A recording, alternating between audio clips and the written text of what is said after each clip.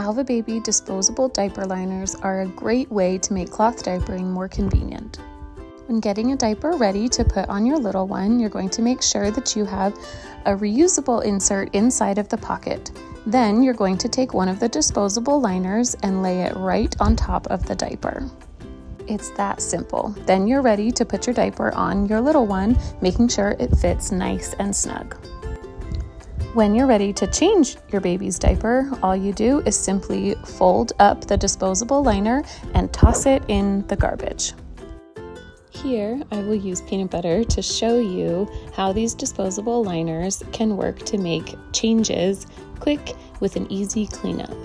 As you can see, this disposable liner holds all of the solids great and is easy to fold up and put into the garbage when changing. These disposable liners are a great option for you and your baby.